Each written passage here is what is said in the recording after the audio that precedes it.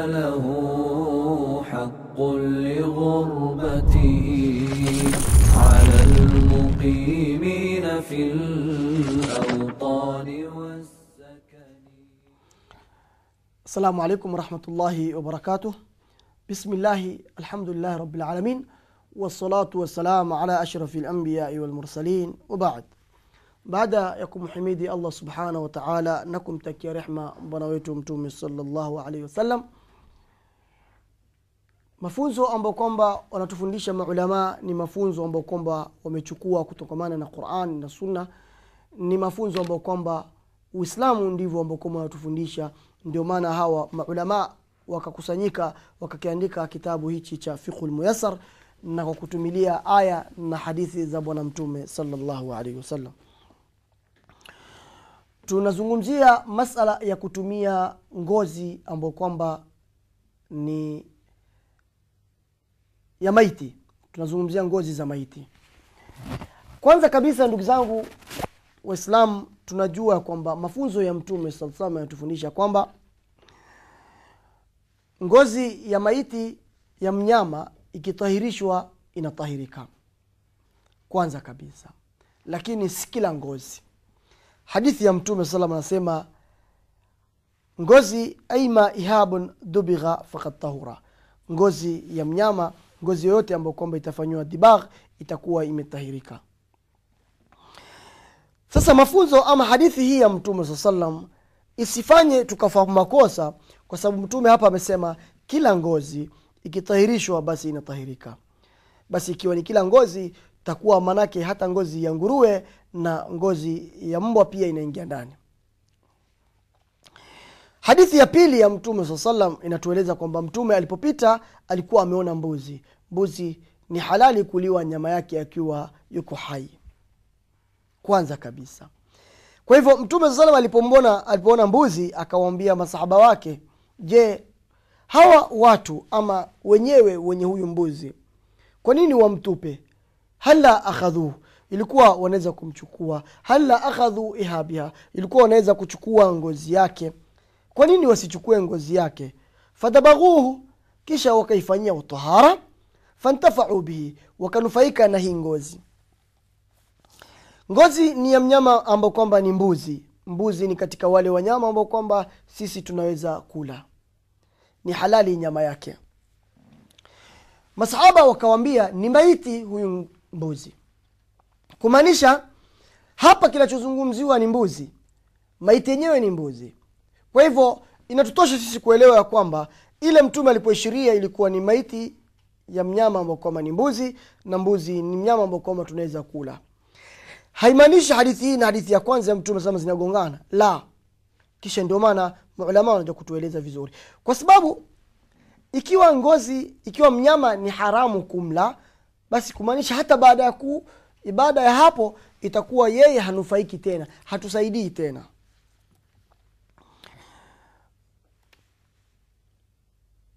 mfano.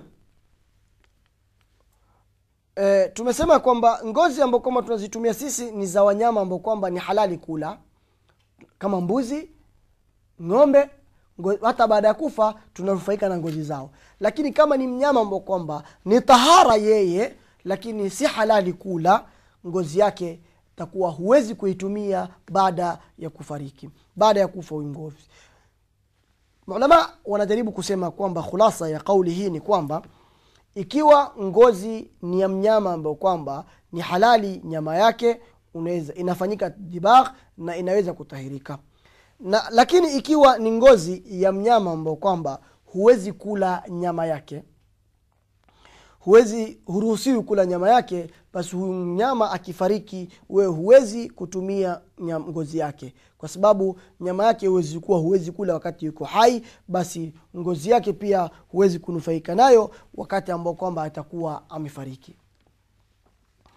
Hiyo ndio khulasa ya kauli ambao kwamba alikuwa tunazungumzia masala ya kutumia ngozi. Ama tukianza katika mlango wa tatu bab athalith tunazungumzia kuhusiana na masala qadai lhaja wa adabiha namna ya kwenda kukidhi haja zako mtu kwenda kujisaidia kwenda haja ndogo ama haja kubwa na adabu zake. Pia hii bab ama mlango huu uko na masala mengi sana. Tunaanza na masala ya kwanza alistinja kule mtu kutamba walistijmar istinja ni kutamba kutumia maji walistijmar ni kutamba kutumia kitu kisipokuwa maji kama ni jiwe kama ni chochote kile. Lakini istinja ni mtu kutamba kwa kutumia maji walistijmar na istijmar ni kutumia vitu vingine. Wa ahadihima maqamu lakhar na pia tutazungumzia katika masala hii tuka tunazungumzia ipi ambayo kwamba inakuwa inapatikana. Ama mmoja katika hizo mbili ikipatikana nyingine haina haja kufanyika. Kwa sababu hatuwezi kufanya istinja na istijmar kwa mara moja kwa hivyo ni wakati gani unaweza kutumia hii na ni wakati gani huwezi kutumia hii? Tutakuwa tunazungumzia haya masala.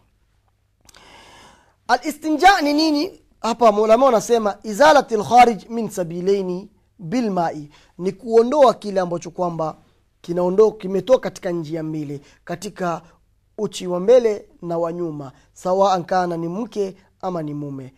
Sasa baada ya kutoka kile ambacho kwamba kimetoka ule uchafu alkharij min sabilaini imetoka. Baada ya kuwa shatoka sasa izalati kuondoa kile ambacho kwamba kimebakia ama kile ambacho kwamba kiko katika sehemu ambayo kwamba ni ya kuondoa unatolea uchafu wako bilmai kwa maji. Ukiwa utatumia maji kuondoa hicho ambacho kwamba kimetoka katika njia mbili uchi wa kike ama nakusudia uchi wa mbele na wa nyuma ndio asabilaini ikiwa umetumia maji kuondolea hayo itakuwa inaitwa alistinja.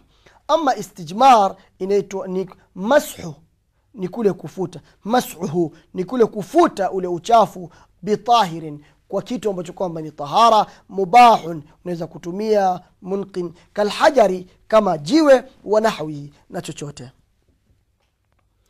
Yani ni kufuta ule uchafu kwa kutumia kitu ambacho kwamba si maji utumie jiwe utumie tishu utumie tambara utumie chochote kile. Tunachozungumzia ni kwamba unaondoa ule uchafu kwa kutumia kitu ambacho kwamba si maji. Alistinja na alistijmar ni kitu kimoja. Kazi yake ni moja na inafanywa mahali moja. Lakini tofauti yake ni kwamba alistinja unakuwa unatumia maji alistijmar unatumia kisichokuwa maji pata kufahamu kama vile ufahamu wangu mdogo pia kidogo upate kuelewa. Lakini ujue tu kwamba tofauti ya istijmar na istinja ni kwamba hapa kuna maji na hapa hakuna maji. Lakini kazi yake ni moja na inafanywa sehemu moja. Wayajziu ihdahuma an lakhar na inafaa kutumia moja katika hizo zingine. Lithubuti dhalika an nabii salllah alih wasallam kuna hadithi ambayo kwa imepokewa na anas radiallahu anhu anasema kana nabii sala salam yadkhulu lkhala faahmala ana ina faahmilu ana wa ghulam.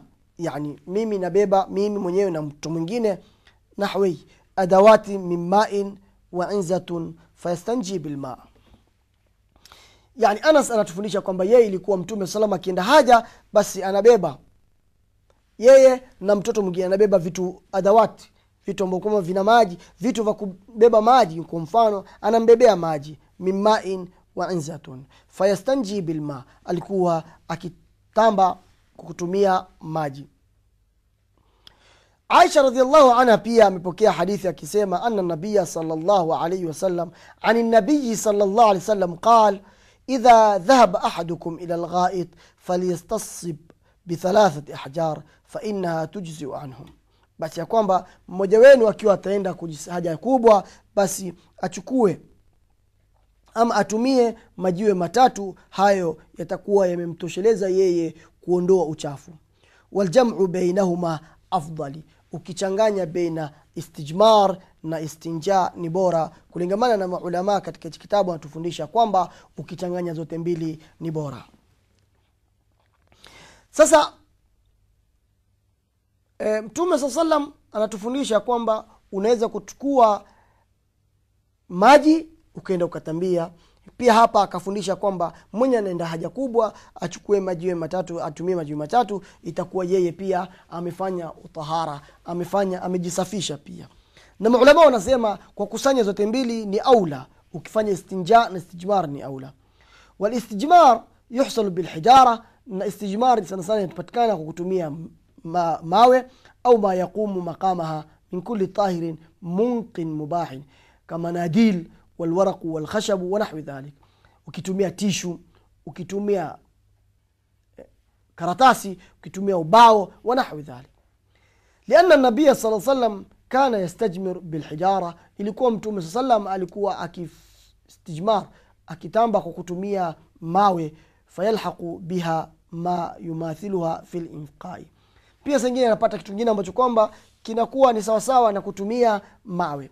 Wala yajzu fi listijmari aqala min thalatha masahat hairuhusiwi ama haifai kwa kutumia ukiwa unafanya istijmar kwa kufanya kwa kufuta kwa mara ambayo kwamba ni less than th yani ukifuta futi zaidi mara tatu na kuendelea. Usifute mara mbili wala mara moja.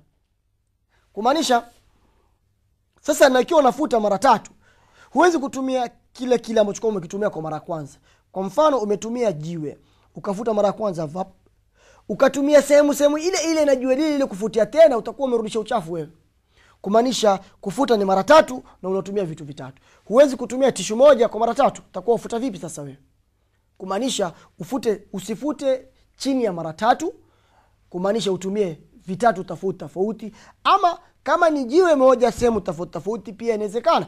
Almuhimu ufute mara tatu na kutumia sehemu tofauti. Huwezi kutumia sehemu ile ile kufutia mara tatu utakuwa wafuta wapaka wafuta wapaka hadithi imepokewa na salman radiallahu anhu anasema nahana yani anakusudia mtume saa salam anasema nahana anastanjia bilyamin kwanza ametukataza sisi kutamba kwa kutumia mkono wa kulia wanastanjia biaqali min thalatha ahjar na pia kwa kutamba kwa kutumia chini ya mi, majiwe matatu wanastanjia birajii au adham. Pia kwa kutumia vitu ambavyo kwamba ni vimetukuzwa tukuzwa pia. Aa, pia kwa kutumia mathalan kutumia mifupa vitu kama hivi haviruhusiwi pia kutumia. Kwa hivyo uelewe ya kwamba hauruhusiwi kutumia mifupa ni hijara pia kutumia tishu na vitu kama hivyo. Inshallah ndugu mtazamaji vipindi vinavyofuatia tutazungumzia zaidi kwa uzuri namna ya kutamba na namna ya kufanya istijmar na istinja kwa uwezo wa mwenyezi mungu subhanahu wa taala. Mpaka hapa assalamu alaikum warahmatullahi wabarakatuh